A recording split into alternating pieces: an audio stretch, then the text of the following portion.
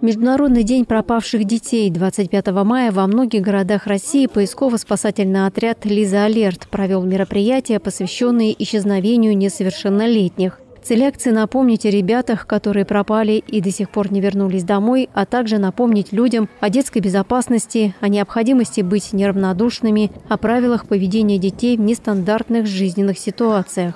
В Колпашеве добровольцы отряда «Лиза Алерт» площадкой для беседы выбрали центральный бульвар. Тут всегда много детей. Вместе с инструкторами ребята разобрали различные ситуации, в которых несовершеннолетний остается без присмотра родителей, теряется, а также проговорили алгоритмы действий в подобных случаях. Ты потерялся. Как помощи ты попросишь? Мы маму тоже не пойдем же искать. Мам, наверное, телефон есть? А можете позвонить моей маме? Могу.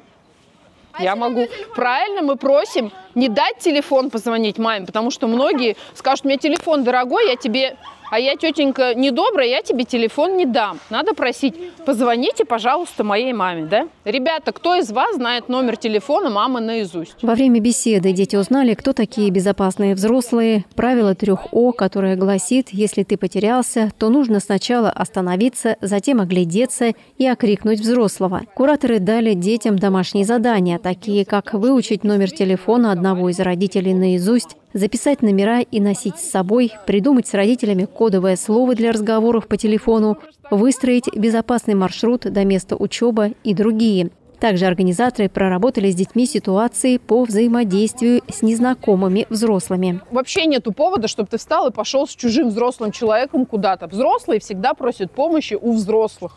Они никогда не попросят помощи у детей. А если взрослый человек начнет тебя вот прям, ну, уже настырно. Ты не хочешь соглашаться, он тебя будет за руку вот так хватать и дергать. Что будем делать в этой ситуации? Кричать! кричать правильно. Мы будем кричать, чтобы при, привлечь внимание других взрослых, которые находятся рядом. Что мы будем кричать? Помогите, я его не знаю. Мы будем кричать, он чужой, я его не знаю, чтобы рядом находящиеся взрослые люди четко поняли, что этот человек для вас чужой. Еще одной темой встречи стала подготовка к походу в лес и правила поведения в лесном массиве. Начала куратор поискового движения с самого главного правила. Ребята, самую первую очередь, собираясь в лес, мы берем с собой взрослых. Потому что без взрослых в лес мы не ходим ни за грибочком, ни за ближайшим цветочком, несмотря на то, что даже мы живем, и многие у нас за дворами, там уже лес начинается, в лес без взрослых мы не ходим. Дети вместе с наставником разобрали обязательный минимум предметов и продуктов, которые нужно брать с собой в лес, а также одежду, которую стоит надевать. Мы одеваемся в лес ярко. Камуфляж был придуман для спецназа, для того, чтобы их было не видно в лесу. Мы в лес идем не прятаться.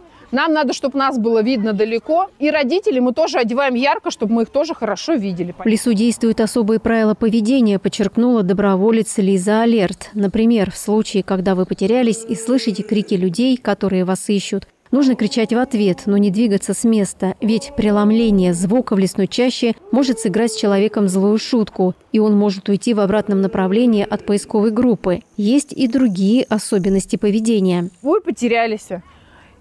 Тебе подойдет незнакомый человек. Ты потерялась, ты, ты Соня, наверное, мы тебя ищем. Ты пойдешь со мной? Да.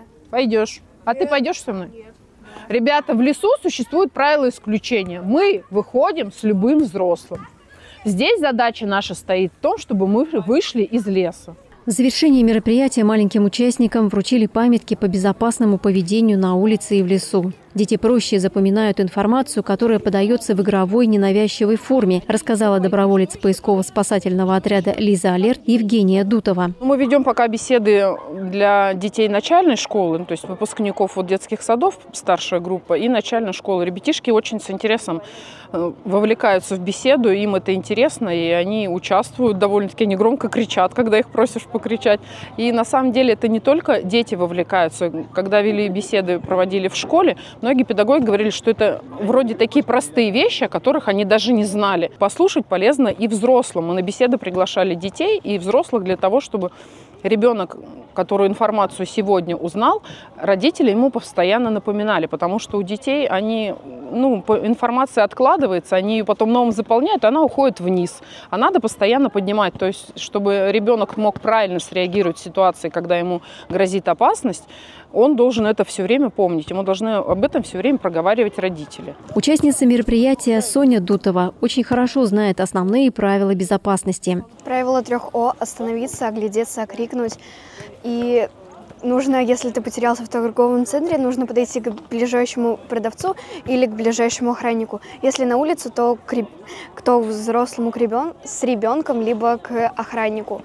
А потом, если ты потерялся на остановке, автобусной, то нужно ждать если мама уехала, то нужно ждать на остановке, пока она вернется. А если ты сел в автобус, а мама нет, то нужно выйти на следующей остановке и ждать маму, пока она вернется. В Колпашеве в профилактических беседах приняли участие 37 детей и 16 взрослых. В завершении мероприятия в парке Кедровой прошла акция «Освети дорогу домой». Горожане и добровольцы отряда «Лиза Алерт» зажгли свечи, освещая путь тем, кто еще не нашел дорогу к своему дому.